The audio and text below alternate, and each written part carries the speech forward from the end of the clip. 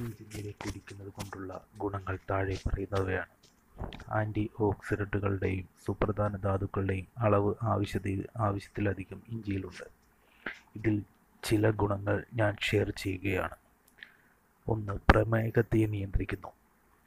പ്രമേയരവുകളിൽ ഇഞ്ചി നീര് ഒരു ഗ്ലാസ് കുടിക്കുക വഴി ബ്ലഡിലെ ഗ്ലൂക്കോസിന്റെ അളവ് താഴാൻ സഹായിക്കുന്നു.